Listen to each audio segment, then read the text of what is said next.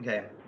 And um, the uh, speaker for two weeks from now is Professor Stephen Heston from University of Maryland. And uh, he'll be talking about variance risk premia. Um, it's some new work of his. It's related to some work Liuren Wu and I did a few years ago. So I hope you'll tune in in two weeks. And um, um, also, um, just uh, as you may have noticed, this meeting's being recorded. So we'll be putting the video on YouTube in a few days.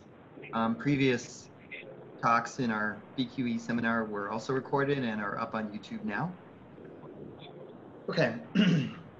so, um, so with that in mind, um, let me um, introduce our speaker for today. So it's uh, Glenn Shafer. Um, and um, I'll share my screen uh, as a way of, uh, okay, as temporarily as a way of getting across his bio. So um, I heard Glenn's talk on this material in Italy last fall, seems like a decade ago, and um, I loved it. So um, I was really pleased that Glenn agreed to do it again. Um, so he's Glenn's best known for his work on the Dempster-Shafer theory of belief functions, especially a 1976 book called A Mathematical Theory of Evidence. Beginning in the 80s, Glenn studied the mathematical, philosophical, and historical foundations of standard probability theory and its limitations as a theory of evidence. Um, since the 90s, he's been collaborating with Vladimir Vovk on understanding the benefits of using betting games as opposed to measured theory as a mathematical foundation for the standard theory, and today's talk is in that vein. Uh, Glenn began his career as an educator by teaching geometry in Afghanistan in 1968, which is very interesting, and subsequently taught at Princeton, University of Kansas, and Rutgers. Um, and he's served as Not dean. this, not, not this one, the next one. Okay, so let me stop with the share, and hopefully we can switch to the slides.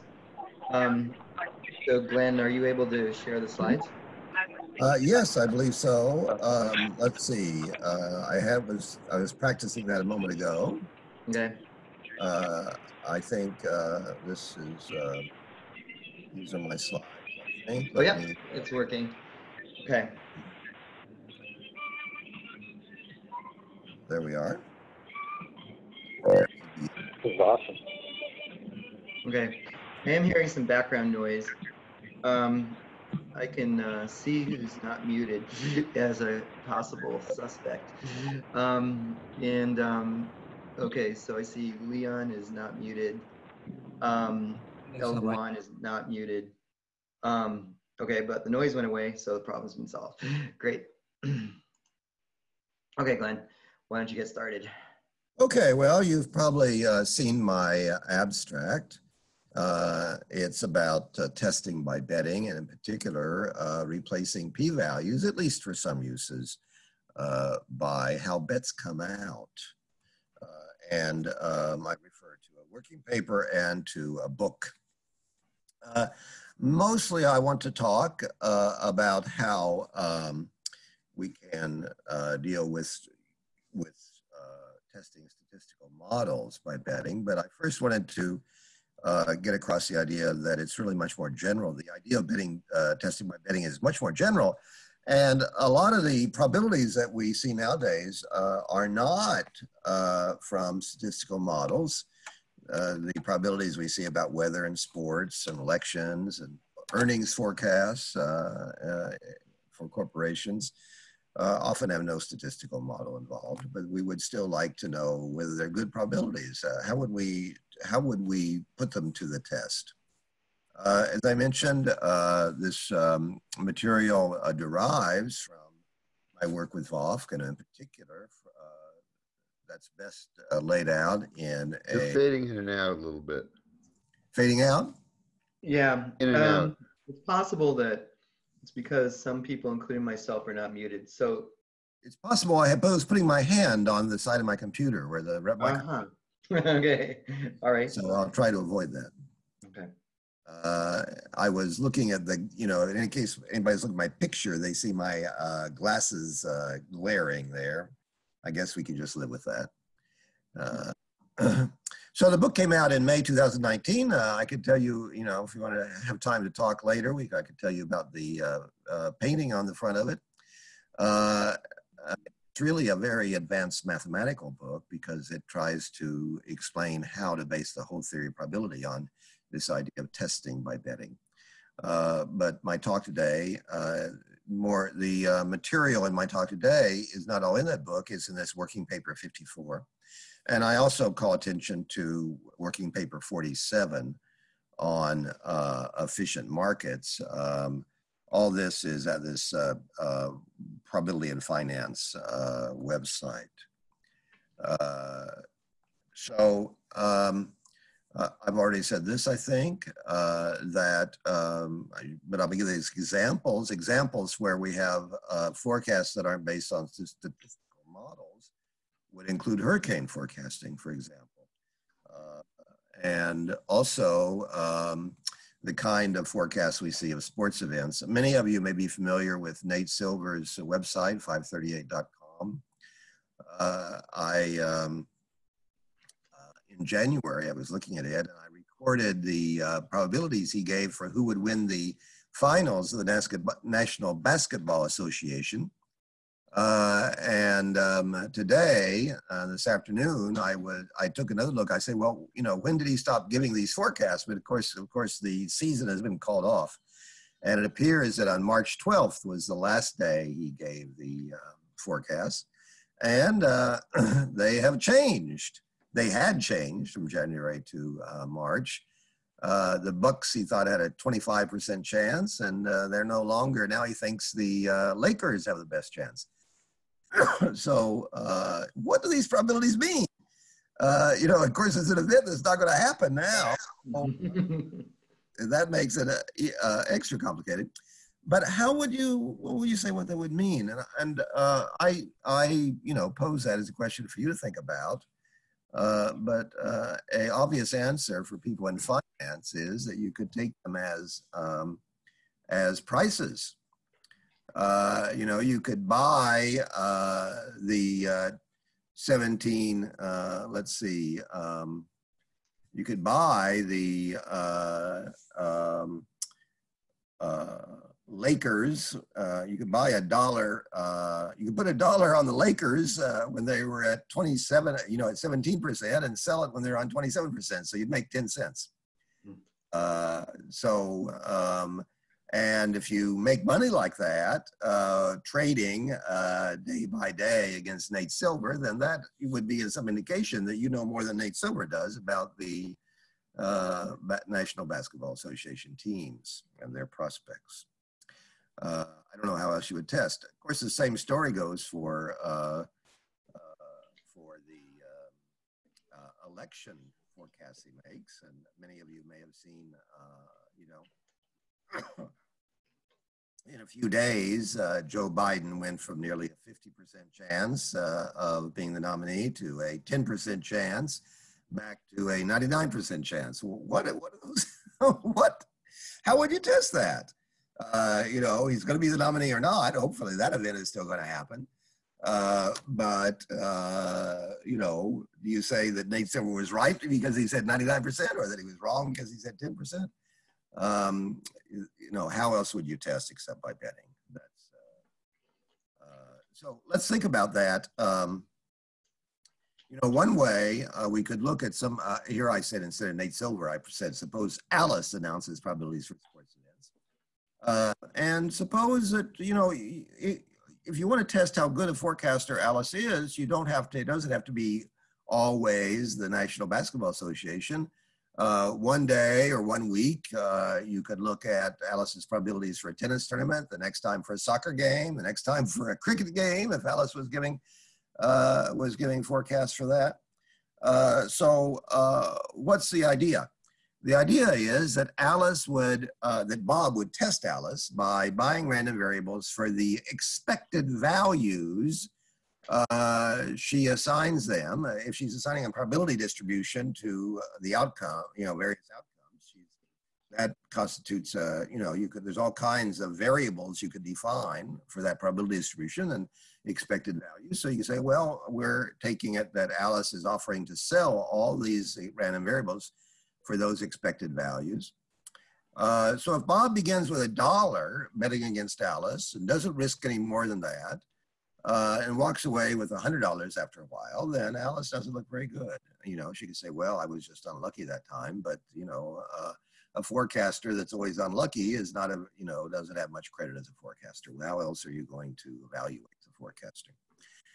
Now, uh, a couple comments about this. One is uh, that when I say Bob begins with a dollar and risks no more than that, uh, I think uh, to make that clear, we should say that Bob is always going to buy a non-negative random variable for whatever he's paying. And he can't pay more than he has. In, you know, he starts with that $1 that's on the table. He never puts more on the table. Doesn't borrow money. Uh, with that becomes, you can't do it that way uh, for this to be uh, convincing and persuasive, uh, you really need to say he puts a certain amount of money on the table at the beginning and he's not going to risk more than that, which means that if he uses it to buy a random variable, it's a non-negative random variable. Uh, because if it came out negative, he would owe more money than he put on the table. Uh, so he, you know, he puts a dollar. So another comment here that down at the bottom, I say Bob is not. This is not Bayesian. Bob is more frequentist than Bayesian. He's not uh, it's not, you know, Alice, these may really be Alice's beliefs. That's not the issue. Uh, the issue is whether they fit what is happening in the world. Uh, Bayesians do make, Bayesians make bets, but they make bets on hypotheses. And we're not betting on hypothesis. If you bet on a hypothesis, what's a hypothesis? The hypothesis might be that the Lakers are the best team that's always a hypothesis. You know, uh, you can still believe that Baker Lakers are the best team even if they lose uh, the season. Uh, so hypotheses are things. If you bet on hypotheses, those are bets that are never settled. Uh, so here we're talking about a bet that is settled. You know, one day you bet one day, you see the outcome, and then you make the next bet. That's the uh, that's the picture here. It's a perfect information game, if you will. Uh, uh, everybody sees each other's moves and all the moves are revealed, you know, all the things are revealed before the next move. So Bob makes bets that are settled and the outcomes of those bets are going to be looked at as, in a way, as measures of evidence, like we would make of p-values as a measure of evidence. Uh, now, in, in this general picture, there's no need for Bob to believe uh, that there really are probabilities for these events. The, the only thing is that, you know, he might say, you can't give a probability to these things. Uh, or he might think, say, I have different probabilities. Either way, the point is, that's not the point. The point is that he's uh, challenging Alice's, the validity of Alice's probabilities. Uh, he also, you know, obviously Nate Silver is putting out these probabilities. He's not offering to bet with me. Uh, but, you know, so I can still pretend I'm betting with him. And if I make if I multiply my play money by a lot, it's still a case against him. So Bob doesn't need to bet real money. He can play. He can bet play money. Uh, his point is to make a. He's out to make a point against Alice, not to get rich. Uh, and Alice is not obviously risking money. Nate Silver is not risking money, but he is. He would be if we had some uh, effort to test him in this way. He would be risking his uh, reputation as a forecaster. Uh, so uh, the advantage of this way of thinking of testing is that people understand it. You don't have to take a course in probability. As a matter of fact, if you took a course in probability, it might um, get in your way because the ordinary person understands the idea of putting your money where your mouth is, of putting up the money, of having somebody take, take your bet and show you're not a, you don't know what you're talking about because uh, you, you lose. Uh, so it, everybody understands that uh, if um, Alice knows more than Bob, and uh, you know, for example, I have three points of things that would be obvious to people. If Alice knows more than Bob, we agree he knows she knows more than Bob. But if Bob still makes money from her, uh, then the things she knows don't seem to be relevant, don't seem to be worth very much. You would understand that. Uh, the second point is that if Bob, if we understand and know that Bob knows more than Alice uh, and Bob makes money, in that case, we think, well, Bob's extra information may be relevant, maybe uh, makes a difference. Uh, if Bob doesn't make money, then we don't have any evidence about Alice's probabilities. Uh, Bob might just not be very sharp himself. Uh, on the other hand, if we have a lot of confidence in Bob, if we think he knows everything there is to be known about the uh, basketball teams and and he's also a very smart guy and he still doesn't make money, then that's actually evidence in favor of Alice's probabilities. They're pretty good probabilities after all. So these are, I think, common sense ideas that you could, uh, you know, you can present. You don't need a course in probability to understand. Although actually, in the last point, uh, the if Bob does not make money, then well, if Bob actually loses money, then we do have evidence against uh, Alice's probabilities. Because if Bob starts with a dollar and uh, winds up with a penny, then um, then that means that uh, Alice's probabilities. Let's see. I guess they are too. But Alice knows more than Bob, as I think is all it tells us. Uh, they might still not be good probabilities. I mean, I would think that the, the way that we really would believe we don't have evidence against Alice's probabilities only if Bob breaks even. Correct? Oh, I think, well, we could, uh, this is a good topic for discussion, but I think it, in my, uh, my thought about it is that our evaluation of, of Bob's results uh, would depend upon our uh, thinking about Bob. Okay, yeah, let's, uh, I know that we're planning on having an informal discussion after this, but we could discuss it. Okay, go ahead. Um, so uh, we also, uh, there's also the case where we don't have a complete probability distribution. We could test Alice uh, even if she doesn't give a complete probability distribution. Uh, some of you are familiar with the imprecise probabilities idea. Community on that, uh, involved with that. Uh, and, you know, so if somebody just gives upper and lower probabilities, the, the upper probability uh, selling price, the lower probability is their buying price. You can, uh, you know, you could, uh, that gives an opportunity to bet uh, where the person, if Alice offers those kinds of uh, probabilities or those kinds of offers, then she's not claiming as much uh, precision or information really, but we can still test what she is claiming. Also, you know, the, the today's stock price is the price of tomorrow's stock, even though it doesn't define a complete probability distribution. Uh, an earnings forecast, the same thing. If, it, if it's a precise number, we could buy at that number and sell at the actual number uh, to test.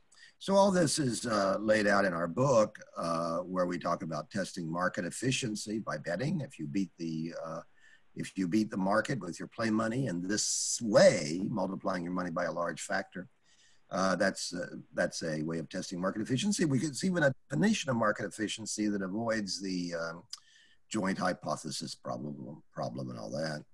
Uh, and um, we can also, in our book, we show how you can get uh, uh, um, properties of market prices that are usually associated with the Ito processes, um, uh, uh, the equity premium, the square root of DT fluctuation, those are all consequences of this definition of market efficiency uh, if you aren't able to make money, uh, then these things are going to hold uh, to some approximation uh, in continuous time. So we actually can do the kind of continuous time stochastic uh, theory, which is, you know, um, pretty idealized, but we don't need to, to start with, with measure theoretic assumptions to do that. so just to be sure we understand, here's an example.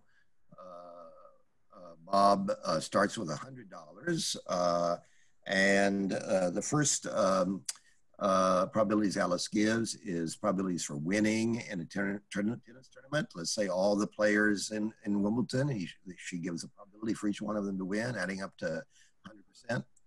Uh, so Bob, for, for example, since we know the players, we know their ages, that defines a, a probability distribution for the age of the winner. And if the uh, average age of, or you know, the expected value of the age of the winner, according to Alice's probabilities, is $28. Uh, Bob could uh, buy that for $28. And if the winner turns out to be 25 years old, then Bob has lost $3. He's down to $97.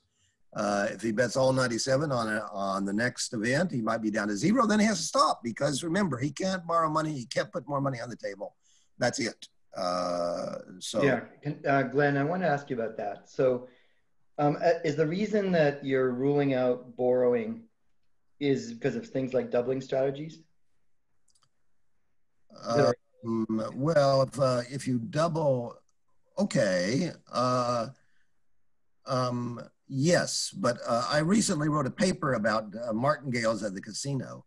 Uh, and there's things milder than doubling strategies that make it look like, you know, if you only put the money on the table as you go, uh, you can choose strategies that often, the majority of the time, multiply your money by a lot.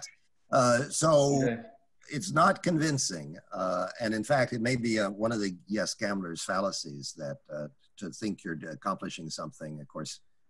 So the answer to that is yes. Okay, that's clear. So you're making a, a nice point that, let's say, if you can borrow, um, not only, let's say, might there be arbitrages in some setting with, but moreover, um, there may, well, there may be, let's say, highly profitable as opposed to risk riskless. Okay, as opposed to riskless. Yes. Well, we all know that we all know the big winners in the stock market are people that are managing other people's money. Okay. Uh, but there is Markov's theorem is relevant to that actually. Uh, this idea of uh, discrediting a hypothesis by multiplying your money is related to the notion of testing by choosing an event of small probability because Markov's inequality, uh, Markov, this first appeared in uh, Markov's uh, 1900 book in Russian, is, uh, you know, from his lecture notes. Uh, what does it say? It says when Z is a non-negative payoff with the expected value mu, so you pay mu to get Z back. Uh, if Z is non-negative, then the probability of multiplying your money by K is less than equal to one over K. Uh, so it is natural enough to interpret, uh, you know, a um, uh, a thousand to one um, uh, multiplying your money as being this evidence just as strong as if you had done a all or nothing test and uh, uh, you know uh, rejected because the event you had used to test uh, has probability one in a thousand. Uh, so in the case where there is a complete probability distribution given in advance, uh, this um, supports the uh, the approach that I've been talking about. And so what I've been doing is I'm saying let's take that intuition and extend it to cases where there's not a complete probability distribution given in advance. Because in this example, uh, you know, Alice is not telling you in advance what all her probabilities are going to be. Uh, she gives probabilities for the tennis tournament one week, and the next time she decides on the soccer game and gives the probabilities then. Uh, so that you know, there's not a strategy that defines a random variable z, uh, that z in the beginning, but we still have the same intuition. Uh, so uh, that is a, uh, you know, I'm already halfway into my talk, but that is a kind of a general attempt to uh, persuade you. And I think as a finance audience, you may be more susceptible to this than statistician. And now you're, now you're fading out even more. Oh, uh, am I okay now? At the moment, yes. Okay. Um, so, uh, so now I get to the what the advertised topic of my top top uh, advertised topic: uh, testing by testing statistical models by betting. So here we have a the statistical model is that uh, a certain random variable y is described by a certain probability distribution. Uh, for the you know for the moment, let's just uh, simplify it. Uh, not um, you know, uh, we're testing a single null hypothesis, a point hypothesis. Uh, so the question is, how do we use the outcome, little y, to test?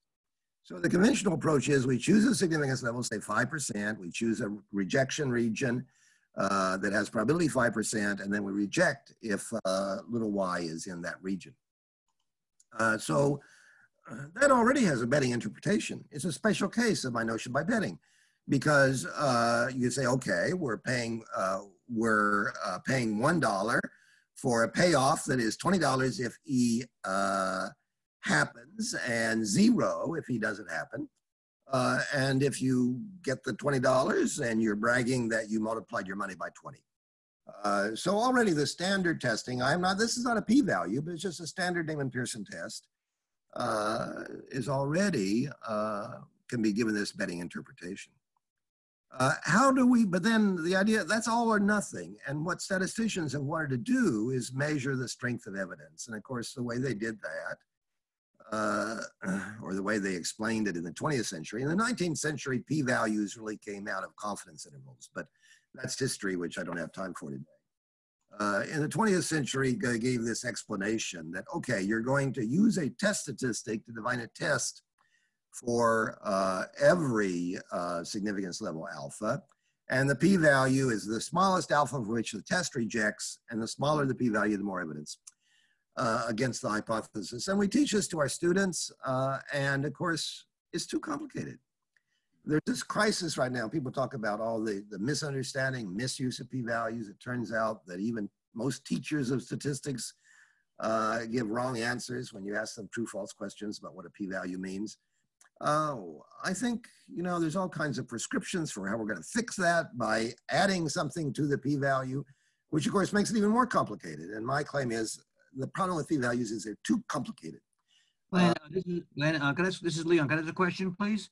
Yes, Yes, um, going back to your prior page. So when you say I've got the hypothesis P pertaining to the random variable Y, right? So the hypothesis P is this is Y's density function, right?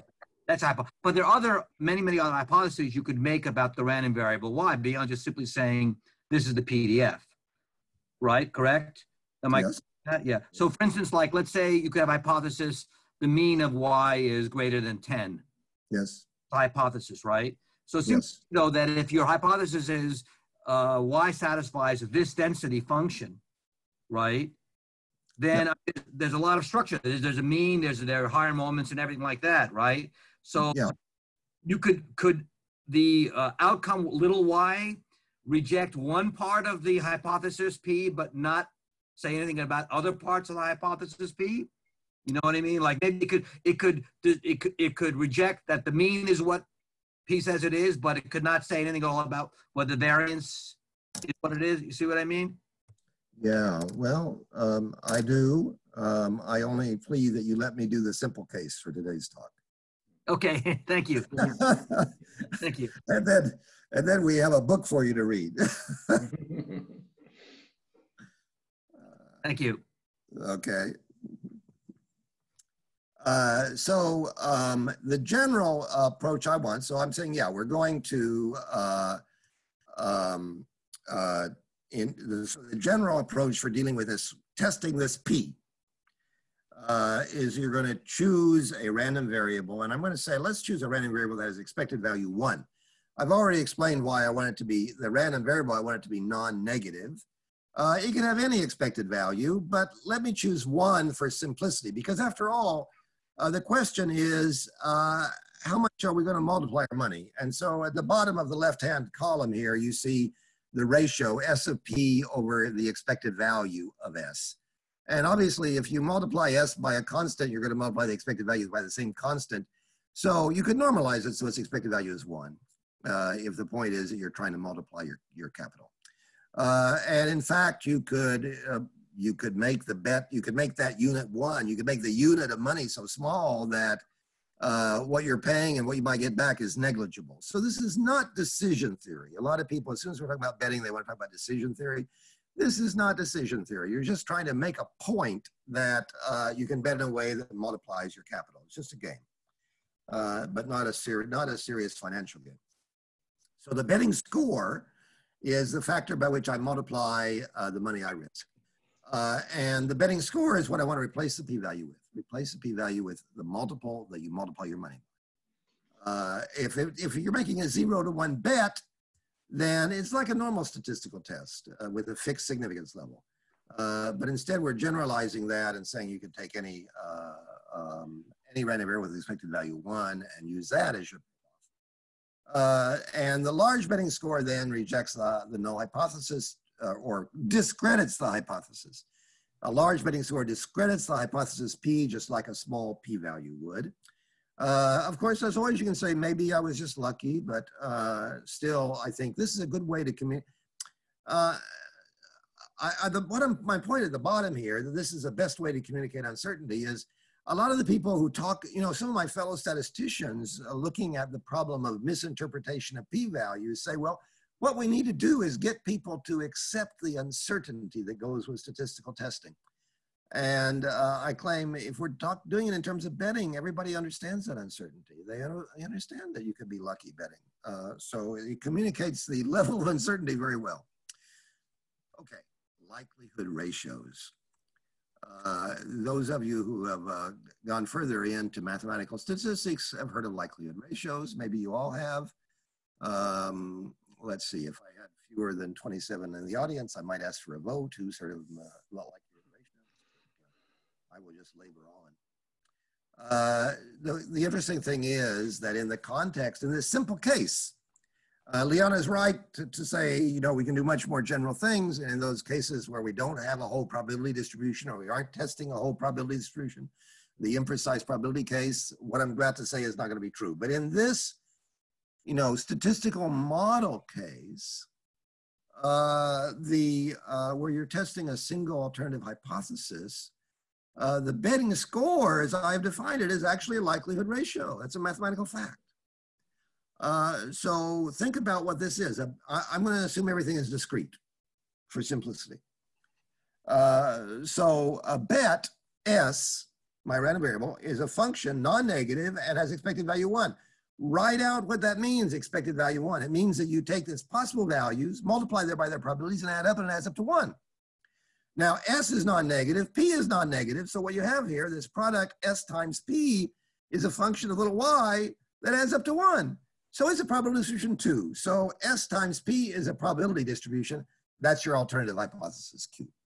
So when you chose a bet, you chose an alternative hypothesis. You might not have wanted to, uh, you might not have been thinking about it, but hey, there it is. It's an alternative hypothesis, Q. Uh, and so a bet against P defines the alternative Q, and the betting score is the likelihood ratio Q over P. If Q is equal to S times P, then S is equal to Q divided by P. Very simple, right? So on the other hand, if you started with a Q, then Q over P would be a possible bet. Okay, so uh, if you know some statistical theory, you already knew this. Uh, you knew about likelihood ratios. Turns out they're my betting scores are actually likelihood ratios. But here's a question. If you did start with Q, let's say you're Bob testing Alice and, and Alice said P and you said, no, no, I believe Q. I think Q is better. Would you choose Q over P as your bet? Not if you're Neyman and Pearson, you wouldn't. Why should you choose Q over P as your bet? Uh, Neyman and Pearson, the so-called the famous Neyman Pearson lemma, uh, you know what I'm, I'm, talking about? If somebody doesn't know about uh, Neyman and Pearson, unmute your microphone and tell me. I've heard of them. I, I studied this years ago. Ah, okay. I've heard of it, I but don't don't. recall what it is. Okay, well, one person said they don't know.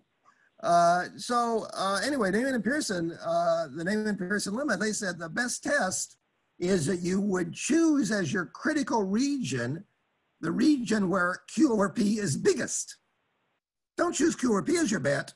Choose a all or nothing bet where Q over P is biggest. Uh, that's the optimal bet if you're doing uh, all or nothing bets. Uh, so let's see. Um, so here is the question. Uh, I've already said what's on this uh, uh, slide, except in blue, I kind of write out that if Q over P is a likelihood ratio, then it does have expected value one. I write out the little proof of that. But I ask my question, does this make me want to choose Q or P? So the reason for doing so, the reason I might want to choose Q or P for my bet is because this might not be the only test. Uh, if I find that the, if I find some evidence against the um, null hypothesis against P, I might want to, to, to look at some more observations and bet again to, to verify, to confirm. So I might actually want to do multiple testing. And this theory is really, this approach is really makes a lot of sense when you're doing multiple testing. Uh, because if you want to know what's special about Q over P, is that among all the bets you might make, Q over P maximizes the expected value of the logarithm. Uh, that is called Gibbs inequality. I'll say that again. Gibbs inequality tells us that Q over P uh, maximizes the expected value of the uh, logarithm.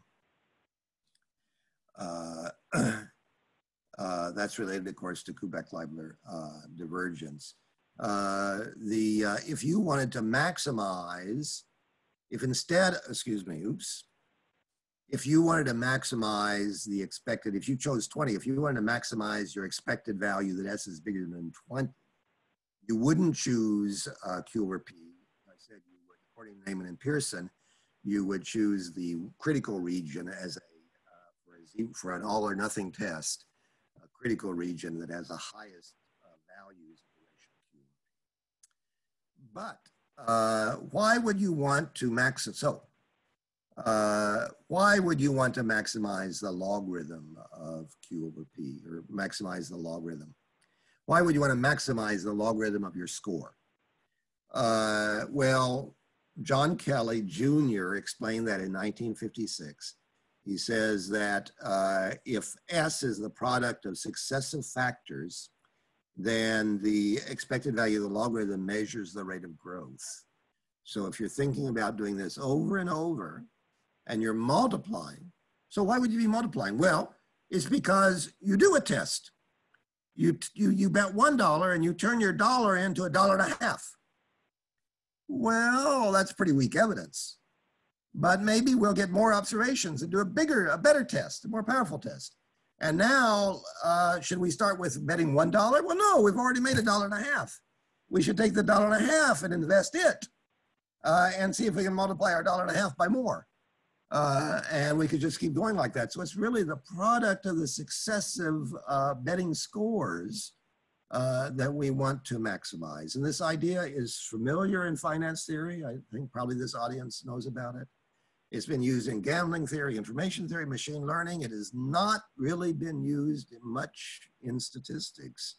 Um, and uh, so it's really the key here to the thinking of this talk. Uh, so um, uh, so this slide brings out that idea of successive tests of P. And it says that you really wanted to, you don't want to average your betting scores. I mean, if you, you know, if you do one test and you multiply your money by one and a half, and you do another test and you multiply your money by one and a half, you average them, you still have one and a half. But if you, if you uh, multiply, you got one and a half times one and a half, that's two and a quarter, right? So uh, the powerful way to do it is to multiply your betting scores. So that's the idea. Now, this leads to uh, the notion of an implied target. So we already have, as soon as we choose a bet, we've got an implied alternative hypothesis. Uh, so that implies that implied that in, that implied alternative hypothesis gives an idea of what our bet is aiming to accomplish. Uh, if our bet S suggests that Q is the alternative, then how much can we expect to increase, how much of a logarithm of our score, what kind of logarithm can we aim for? Uh, it says, you know, if Q is what we think is really so, then we would expect to get uh, the expected value under Q of the logarithm of S as our uh, score. So you go back and exponentiate that, and that gives you a, a, sort of an idea of how much you would expect to make money.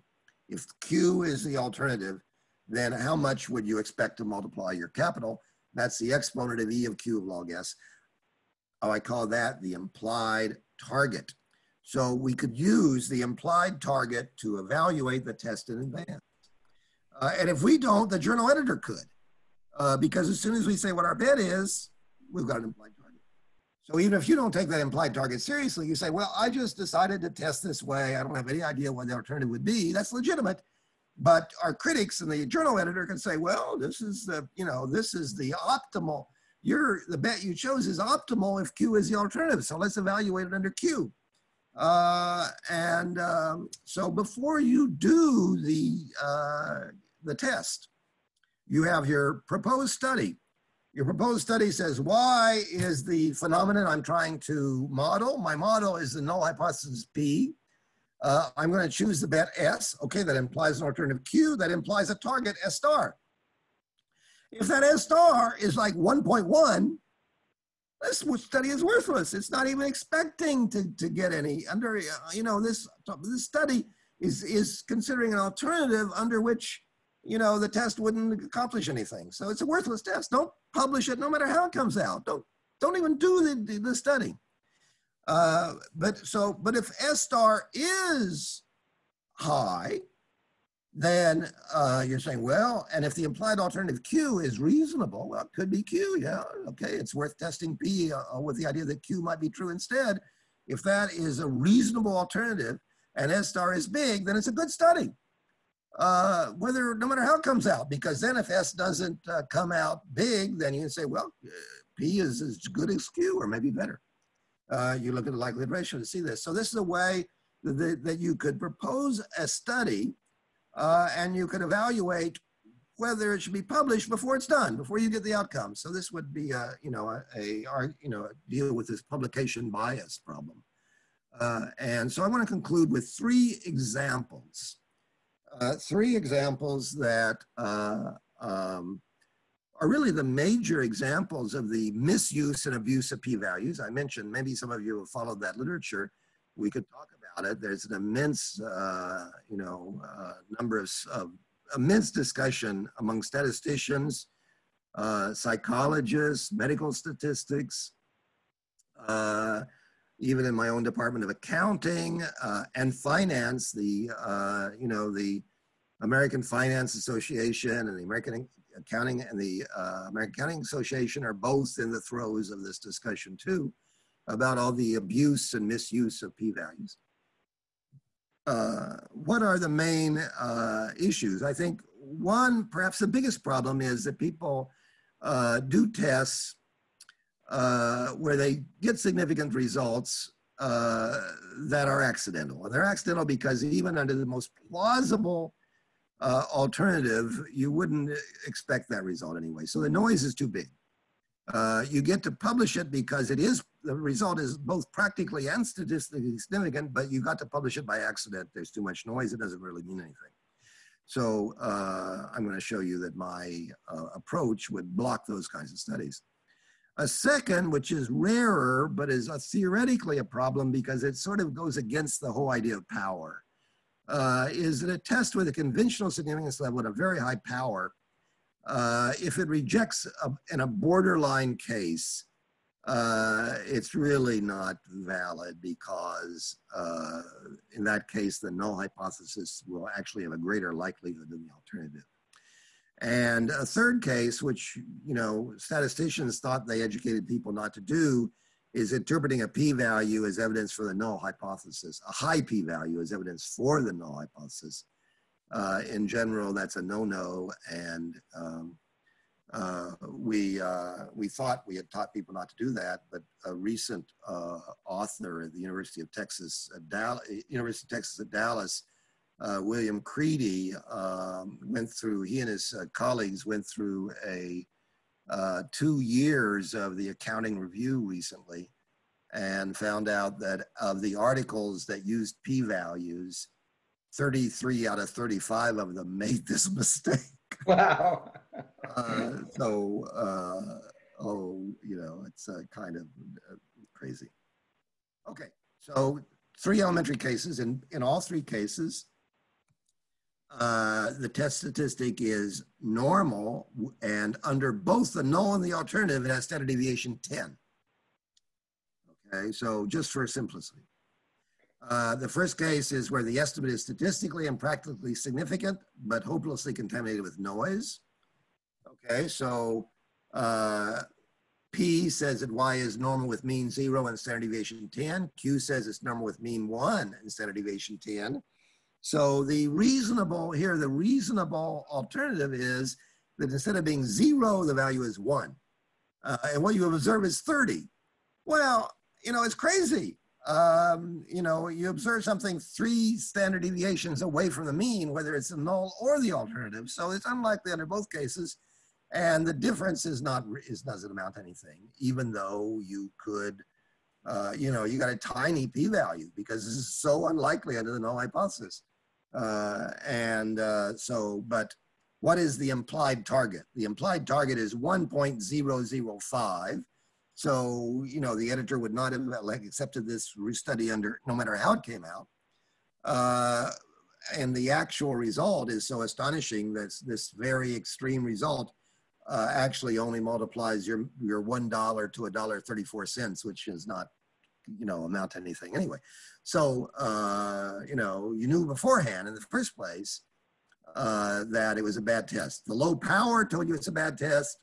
Uh, this uh, low applied target told you it's a bad test. Um, the second example is that, it, you know, the, the problem here is the low, if people paid attention to power, even under the, with the standard theory, they wouldn't have done this. But the problem is that in the, in a lot of literatures, including the accounting review, people never talk about power. They get away with publishing stuff like this. They never mention power. So here's a case where, and they never mention power because they never tell what their alternative really is. So here, the example in this example, the advantage of, the, of, our, of my approach to this example is you're forced to tell the alternative. Uh, you tell the test, you've got the alternative. Uh, the second example is the case of a conventional significance test, with, a, a test with a significant with a conventional significance level and high power. Uh, so here we say, uh, again, the null hypothesis is mean zero, standard deviation 10. The alternative, same standard deviation, but let's say that y is normal with mean 37. And we observe something right in the middle, 16 and a half. It's barely significant, so you can say, yeah, I had high power, so I am justified in rejecting.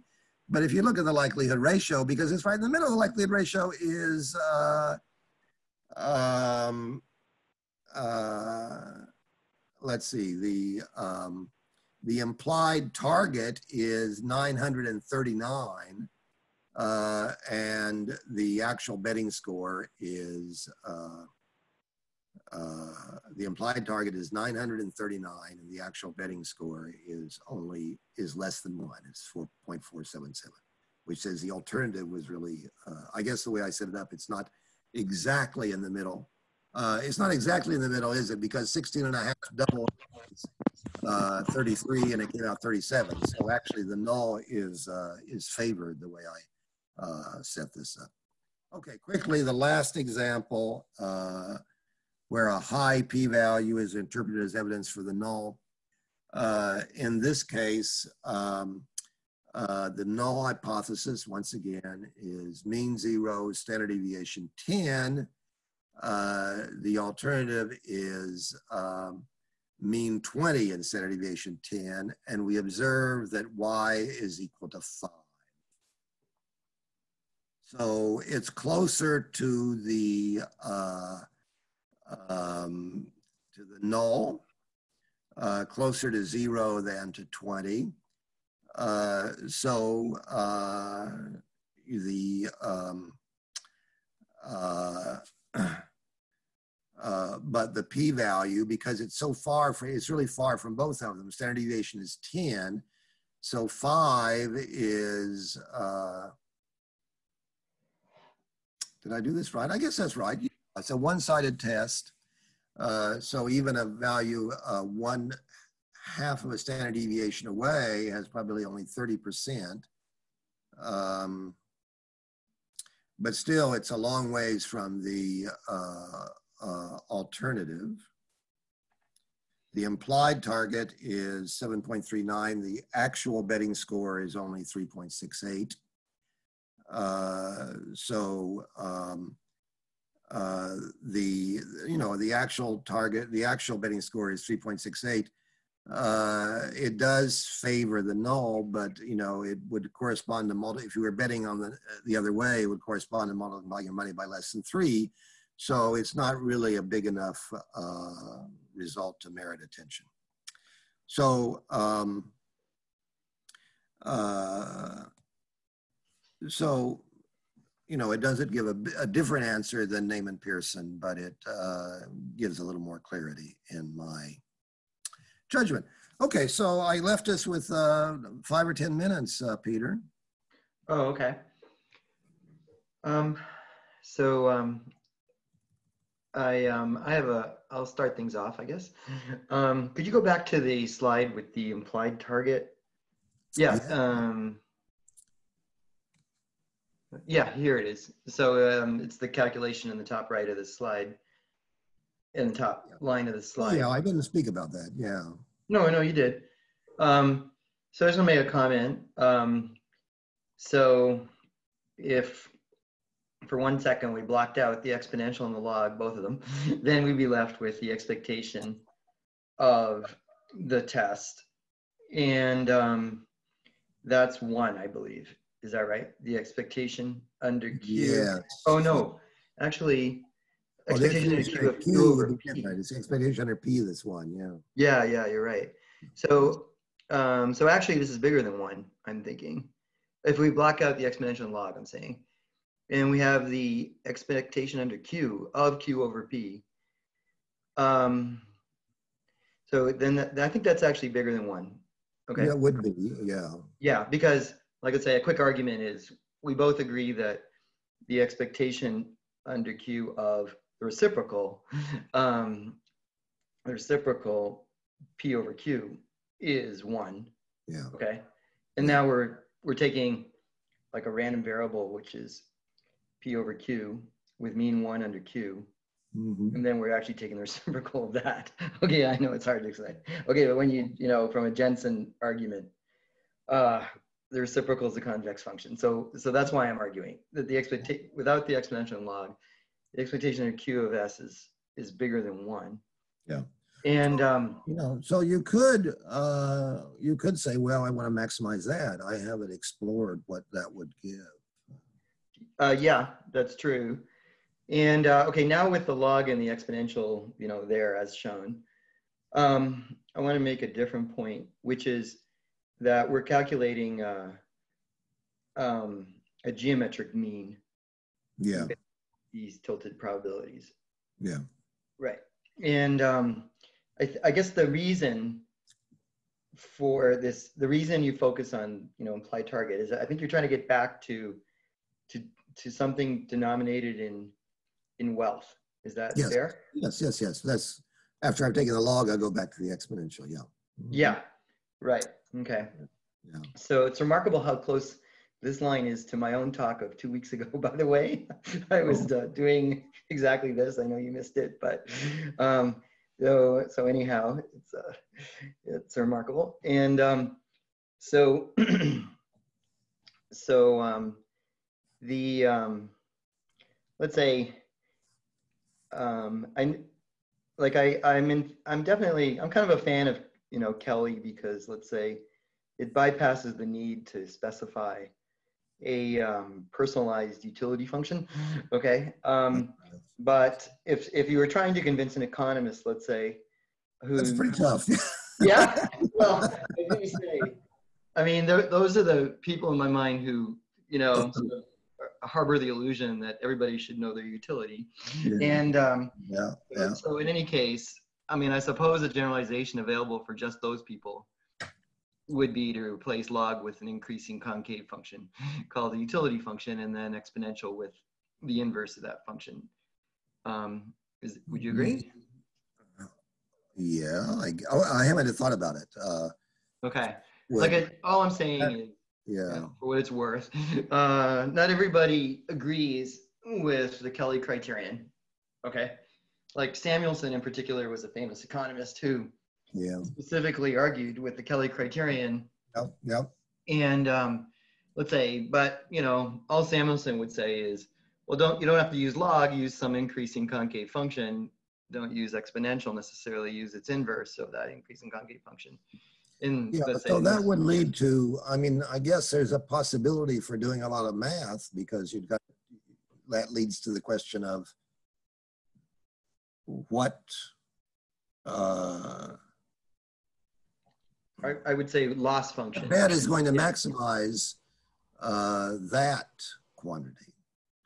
Yeah, so I know you're saying that only with log there do we get that um, S is the quantity that maximizes the Right. mean log there. Right, on- Right. yeah, right, right, this, yeah. so Yeah, Assumption that you, you want to maximize that log, yeah. So what'll happen if I replace log with some other increasing concave function? Okay, Then then, put- then then you- Q over yeah. P will no longer be the maximizer. right, Okay, we agree. right, so. uh, And, and what, it- what let's say, what it would be instead, instead of, instead of Q over P, it would be, you know, some increasing function of Q over P, probably, okay? Um, well, no, no, the point is that you would look for a different Q. Uh, Oh, oh, I see. What if you started with, no, you're right. If you started with Q, yeah, if you believed Q, that's yeah, right. Yeah, I'm still thinking you believe Q. Other- You would use some other function. I have no Yeah, idea. you would bet differently. You wouldn't just take Q over P. Like a, a concrete example that I'm sure will work is in- if instead of log, we use a power function that's Uh-huh. concave. So for example, the square root of S. Yeah, yeah, Um, yeah, then, and likewise, instead of exponential, we use the inverse of the square root of S, which is the square. Okay, then, um, instead of betting Q over P, we'll Mhm. bet a power of Q over P. I'm pretty sure that's how it would work out. Um, a positive, an increasing power of Q over P, like, you know, Q over P raised to a positive power, I mean. And, um, so, so anyway, it would just be a slightly different answer is all I'm saying. Um, but, um, it's still in the spirit of you know what you're trying to do. Um, so I'm just you know pointing out that there's let's say related theory available should one want to go that direction. That's all. yeah. I'm, not, I'm not sure how the logic, you know, my earlier arguments about uh, the invariance if you multiply by a constant. Well, okay. Um, Uh, uh, yeah, I don't know how my, I I don't, I don't have the whole picture in my mind. It's worth exploring. yeah, I, I know you're you're worrying about um, the scale invariance, right? Like before Yeah, you were saying yeah. we might as well make wealth one. Yeah. Um, so yeah, so the particular example I happen to pick with with power function in particular replacing log will actually respect that scale invariance. Okay. Well, I guess that scale invariance only has to do with P. Q is not in that story. So yeah, uh, guess that's okay. All right. Um, But the, uh, you know, if the amounts of money are so small, that would, wouldn't that change? If you, if you changed, uh, somehow, I, somehow your utility function is going, if you're trying to look at a utility, only the log is going to have this feature that it wouldn't Yeah. change with the scale. Yeah.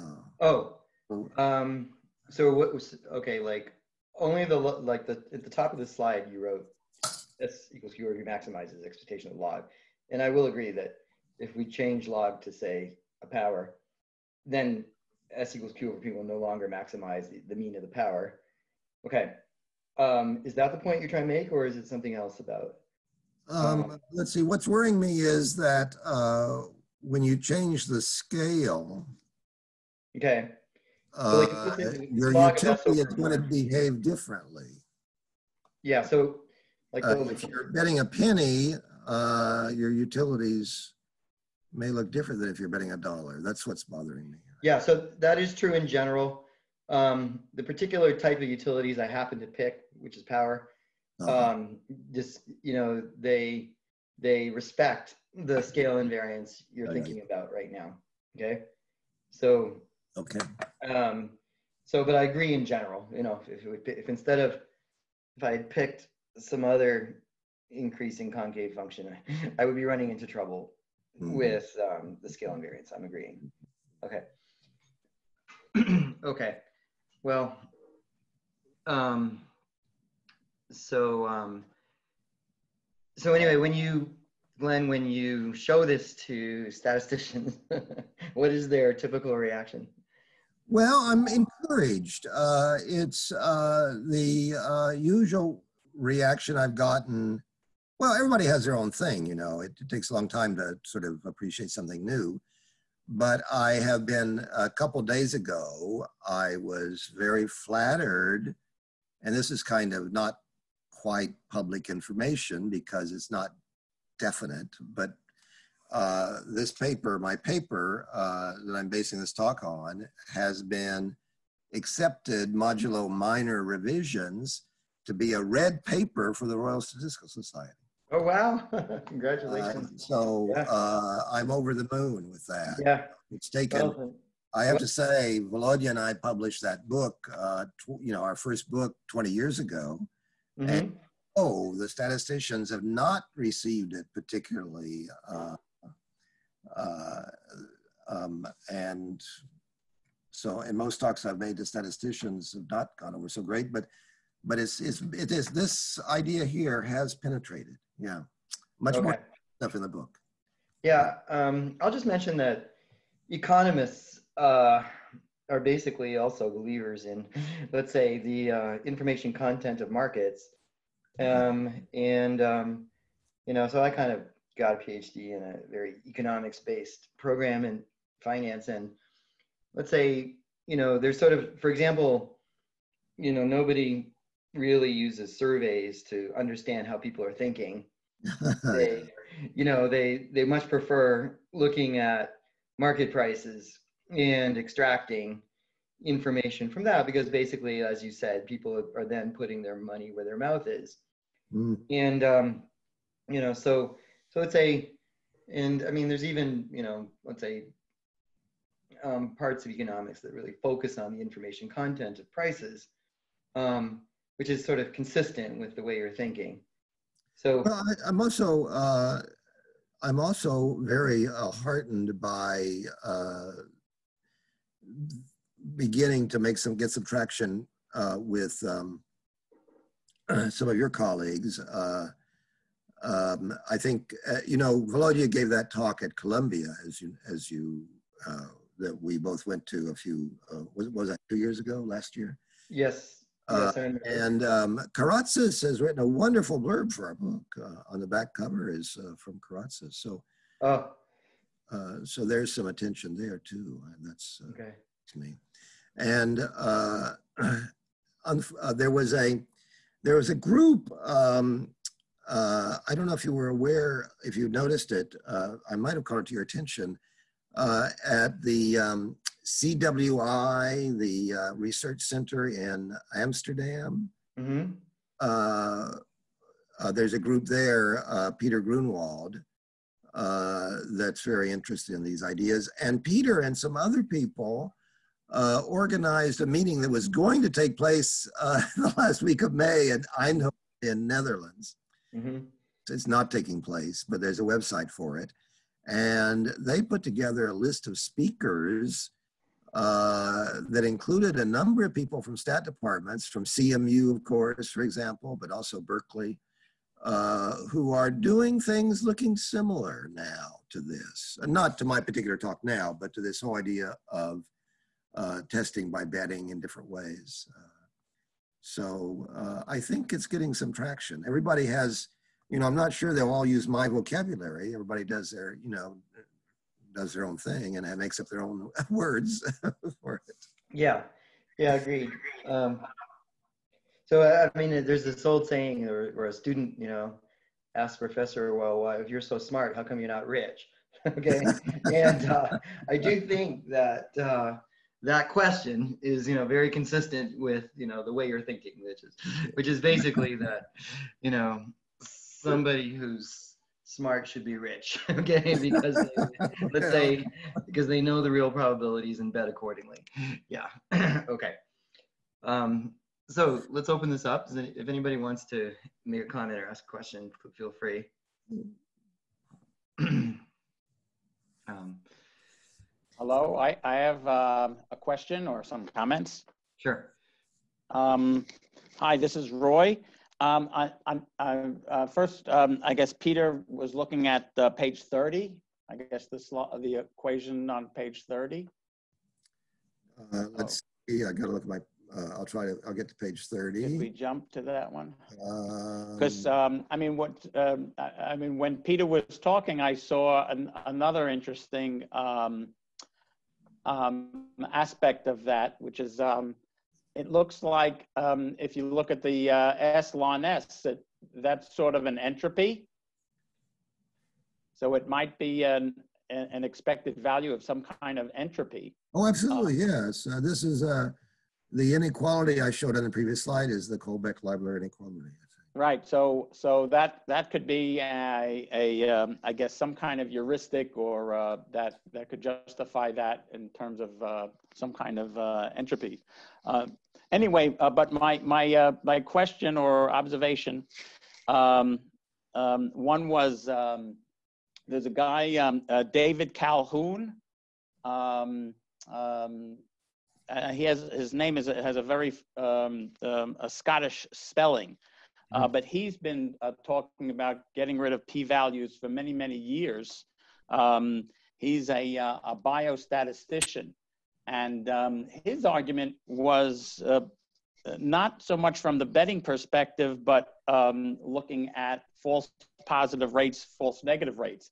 It would be interesting to see, to, uh, um, uh, I guess my question is, have you um, applied the, this, um, um, the betting uh, uh, language to the issues of false positive, false negative uh, um, uh, diagnostic type tests? I guess that's that's that's that's the first question, and the second one is um, there's a whole world out there in the area of something called pari mutuel wagering. Uh, that's the wagering associated with uh, lotteries and horse races and things like that where there are these uh, companies that compute odds called tote, tote companies or uh, totalizator uh, uh, companies.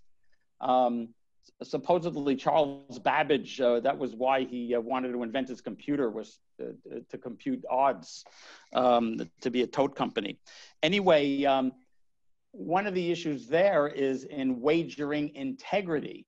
Namely, how do you know these odds that the um, the tote companies compute are are actually uh, legitimate. They they could be subject to fraud. I mean, that's actually an area in um, in the uh, in, in the regulation of lotteries and uh, and um, uh, and horses. Anyway, just just two comments or two questions, I guess. Uh, well, in response to the first question, I've uh, corresponded with David Colquhoun on this uh, and read his paper. Uh, and uh, that's my only interaction. Uh, but, um, and I shared my paper with him, and I, I can't, you know, marshal all the details, but my recollection of that conversation was that uh, what Colquhoun is recommending in the end comes out uh, pretty much what I'm doing. But as you say, it has a completely different rationale. And uh, in my mind, it's an infinitely more complicated rationale. Uh, because he starts with, okay, let's take p-values and then just add this additional layer to it. Uh, and, um, you know, my argument with the statisticians and, and of course, he's only one of dozens and dozens or of, authors. Uh, you may, for example, one of his papers is included in that collection of, of, of about 40, I think, or 50 articles by statisticians in a special issue of the American Statistician at the beginning of 2019. Every one of them, you know, he got 40 suggestions for here's, let's fix the problem by adding this to p-values. Uh, I exaggerate, not all 40 articles take quite that approach, but a lot of them do. So you got all these different uh, proposals for fixing p-values by making them more complicated. Yeah. I tried to convince Colquhoun that this would be a way of uh, kind of getting to where he was going without making with a simpler rationale. So that's my answer on Colquhoun. On the question of the parimutuel, of course, uh, you know, this is not something new. Uh, the horse uh, horse betting in the United States has has been parimutuel for a century or more, maybe a century. You know, the parimutuel was invented by a Frenchman in the middle of the 19th century, I think, and uh, taken up in this country universally in the horse races. And the question of whether the track is, but you know, in the case of parimutuel, uh, you aren't given probabilities and told these are the probabilities you can bet at because the payoffs uh, depend upon what everybody else, you know, everybody else's bets. Uh, and uh, uh, Yes, know, yes, uh, and the parimutuel. what's interesting is um, all, the whole world is all about odds, except they may, there may be, say, inside information as to, say, uh, Yeah, yeah, what, what so horse would issue- win. So it's an the issue interesting of- the issue issue of of that odds yeah, are not probabilities. yeah, the issue of trusting the uh, racetrack uh, and in the in newer online versions of the racetrack, uh, that issue is, you know, it's not something that this methodology here is addressing. Absolutely not.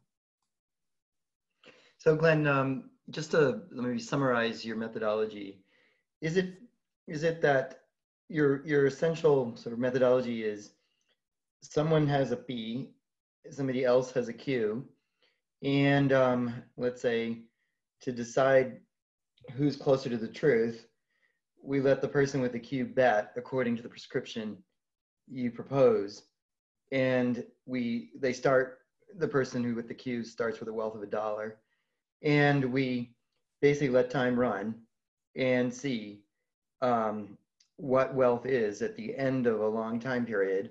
And in particular, we're interested to know is wealth bigger than one or is wealth smaller than one? Is that fair? Um, it's it's a kind of uh, special. It's a kind of a salient special case of what's going on here. Yeah. It is? Uh, what what it what make one thing that makes it special is that this idea of multiple testing.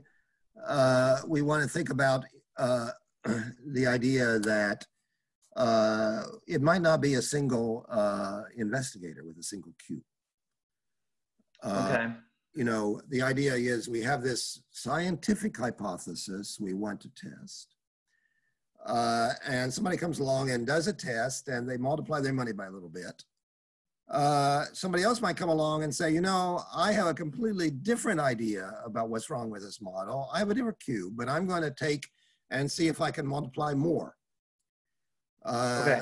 This idea that each investigator is still trying to multiply more what the previous investigator did. So it's a scientific community, possibly with diverse and changing opinions about what Q is. Uh, Okay. Okay. But let me. uh, general. It's much more general than this idea. And of course, I also, at the beginning of my talk, uh, addressed a different aspect of the generality that, you know, you might not even have a, uh complete P, uh, in which case you're not going to have a Q. Yeah, let me come to my um, my comment now. So so okay, so that's fine. So let's say that there's one P and multiple Qs. Each person can bet according each to their own Q. So in the end, um, I think that I'm guessing that you're going to say that the person who has the most wealth of all these different Qs um, is the one who's quote correct. No, I don't think so. No? Okay, so I'm trying to actually understand in the end Uh, what the criterion is for, like, is it first, I have two parts to the question.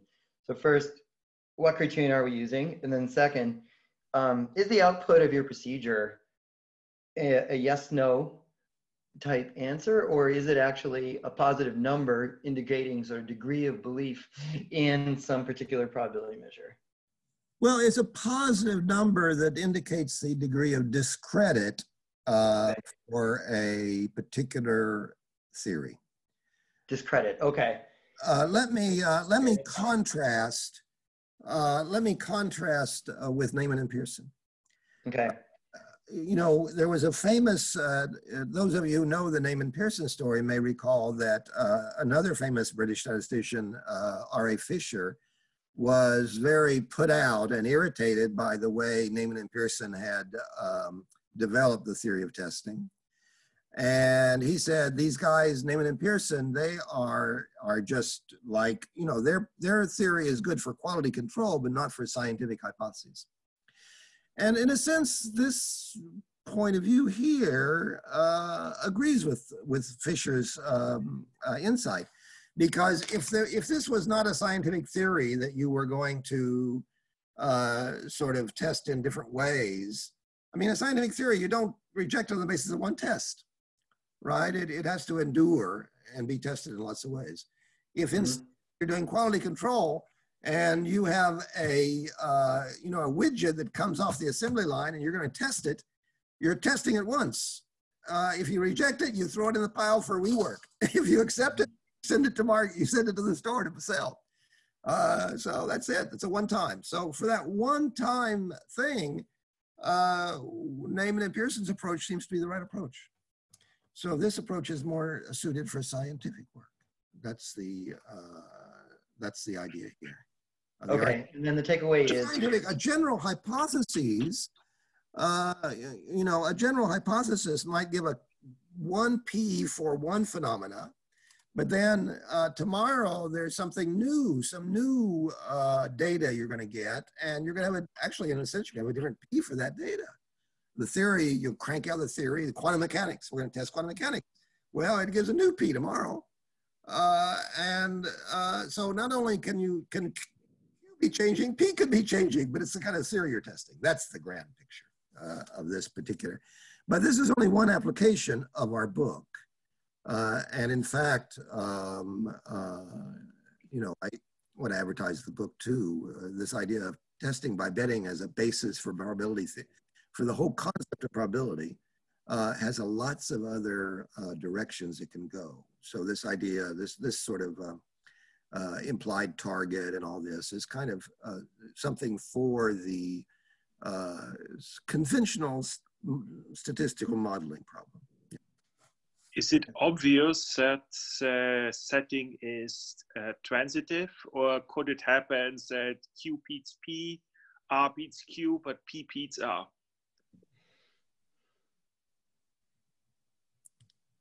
Uh, well, yes, I mean for a single, yes, it's transitive. Yes, It's transitive. Good. yes. Well, things get, I, I would think that things get more complicated if you're looking at uh, more than uh, one, more than two alternatives. I mean, if you have like three or four possibilities, uh, a- P would have to make a statement about uh, a probability for each of them. And then you would have Qs that would perhaps do better if it just happened that uh, what you actually observe were a series of runs of one of them over the other. I, did, other, I, I moved to example one here. If you have a normal distribution, there's lots of. Yeah. yeah. I'm not sure what you're aimed at. Okay, what I was thinking about was, let's suppose you have, uh, you're rolling a dice. Okay, your P is, let's say that, okay, all six faces are equally likely to come up. Yes. Um, you have a Q that says five and six are more likely to come up than, you know, the others. Yeah. Uh, and then you have an R that, um, uh, one and two are more likely to come up than the others. Yeah. Well, then, Uh, yeah, I mean, these are going to be these P, these R's and um, and Q's also get probabilities for all six faces. They, they yeah, exactly, Okay. exactly. And then, well, depending on what actually happens, I mean, depending on the actual roll, you're going to observe, um,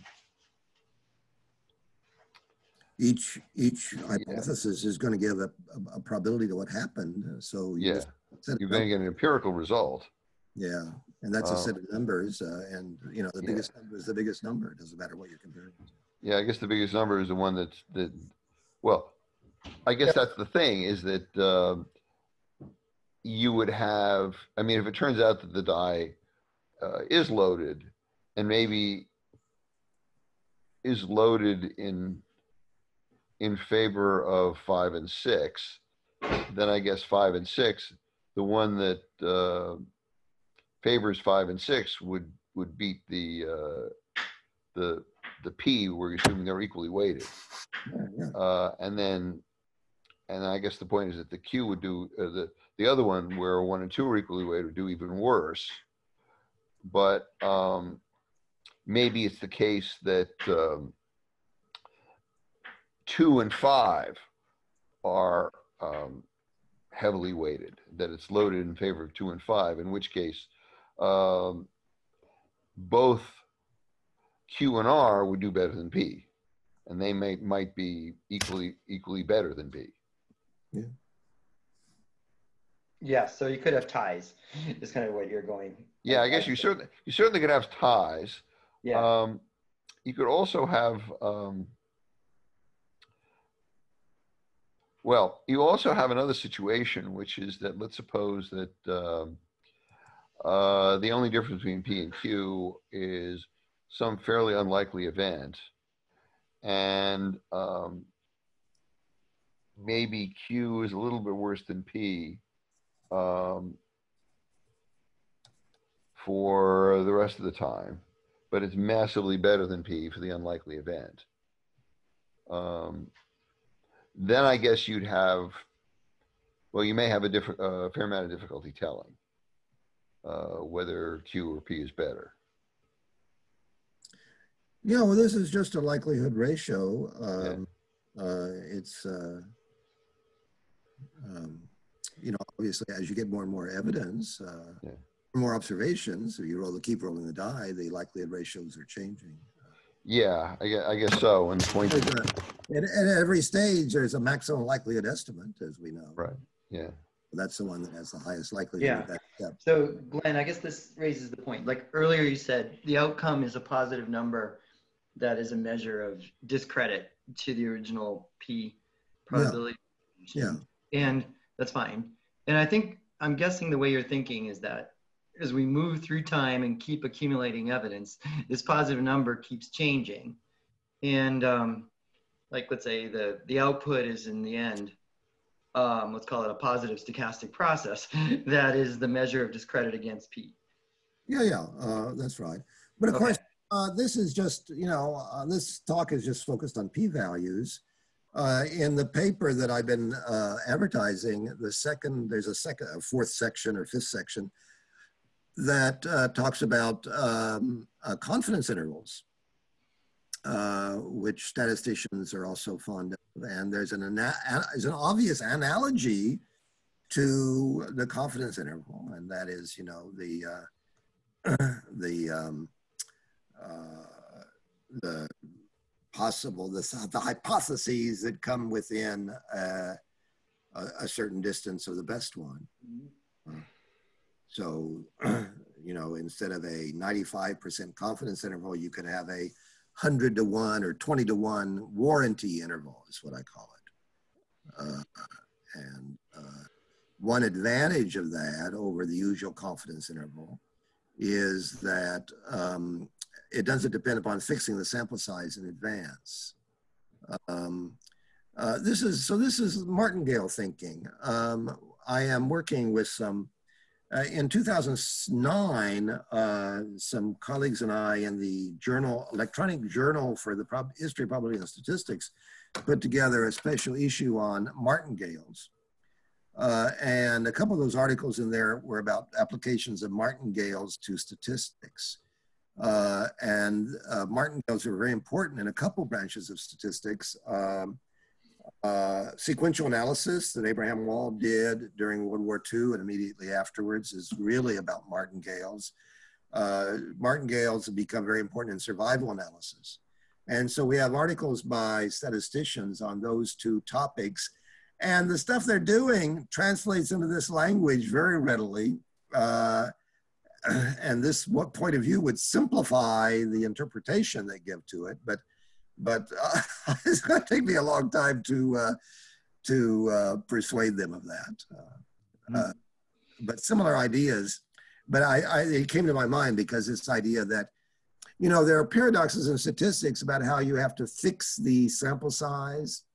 Otherwise, you are you know you you can be arguing to a foregone conclusion. Uh, just keep just keep testing until uh, you know you can reject.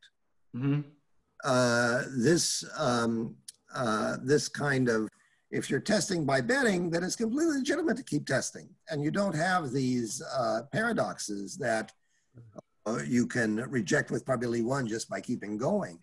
Uh, because when you're when you're with the usual theory, what you're really doing is you're cheating. You're saying you're doing one test, and then you're saying, "Oh, now forget it. We'll do this next test." Till you finally come to a test that uh, rejects. Of course, the same thing in the multiple testing problem. You know, throughout uh, many application statistics. That's what's bothering people now. That uh, you do you do, you know, in psychology and experimental psychology. You, some of you may have seen this literature in experimental psychology. You know, uh, the psychologist does some experiment with uh, as big a sample size as he can, and you know, as big as class student class as he has, has all the students be his subjects and he tries something out to see if something has an effect on how they judge certain things. Uh, it doesn't quite work, so he changes a little bit and tries again and keeps trying until he gets something that has a 5% uh, significance level and he can publish it. Uh, so what does it mean? It means that he found a result that only happens one time in 20, but he, he you know, 20 things to find it. So it doesn't mean anything. Uh, so that problem of multiple testing, uh, I, you know, in this talk, I, I addressed one aspect of multiple testing, but all of these different aspects of multiple testing uh, are dealt with very elegantly by this approach. Uh, uh, so I think that's, um, you know, why I think the time, th th these ideas, the time has come in part because of this crisis over the over significance testing. Okay. Okay. All right. Um, I think we've um, come Uh, to. Can, can I ask a quick question here? Uh, this is Pierre-Yves, and I'm a very naive person in that domain, but you know, since I was at home, um, I was listening to you. So in this example of this uh, professor of psychology trying again and then again and again, how did you, how can you debunk his approach with your bet strategy? Is his gain is getting smaller and smaller, and at the end it just means that he's betting nothing and get nothing? Well, he has to start uh, with a, uh certain capital. And he says, okay. I'm going to try to multiply this capital. If his first test only multiplies it by 1.1, okay, he can, the next one, he's got 1.1 to work with. But if his first test comes out, instead of making money, he loses money and he only has 90 cents, then he's trying to multiply that 90 cents to make it big, right? So um, uh, it's not, you know, it's not that it, the if he does some tests where he gets a small effect, uh, they help him. He has to accumulate them, but it's the multiplication uh, is the idea. You you, and uh, if he does some stupid things and uh, that's going nowhere, he's going to actually his capital is going to go down instead of up, and it'll make it harder for him to come to some conclusion. But it will Mhm. uh, but on the other hand, the other approach is that, you know, uh, if uh, he's going to do 20 things uh, and you only allow him, uh, you know, another way is a sort of like the Bonferroni uh, adjustment that people talk about is that you got to take uh, your significance, take your p-value and multiply by 20. Uh, so this actually gives you a little more hope of getting something than the, if you do the conventional adjustments in an honest way, uh, you're completely devastated. Whereas this might give you more of a toehold to get somewhere. Mm-hmm. Okay. All right. Okay, well, let's uh, wrap up. So Glenn, I just want to say thank you very much. Um, so I'll applaud even if uh, you can't hear anybody else applauding. And, uh, Yeah. and uh, so anyway, um, thank you all for for coming. I know that there was an announcement about a wine and cheese. Um, I think well, we pretty much used it up with uh, asking questions of Glenn, but if you um, I'll I'll have a beer anyway. Thanks. you'll have a beer, okay. Mhm. Sounds good. Um, so just remember that we'll be having a talk in two weeks as well um, by Steve Heston, and um, I uh, hope you. Um, I'll. Um, I'm, I want to thank you again for for coming tonight. Okay. Um, thanks. So I'm signing off. All right. Thank you, Bye. Glenn. Thank you. Thank you. Goodbye. Cheers. Bye. Thank you. Bye. Thank you.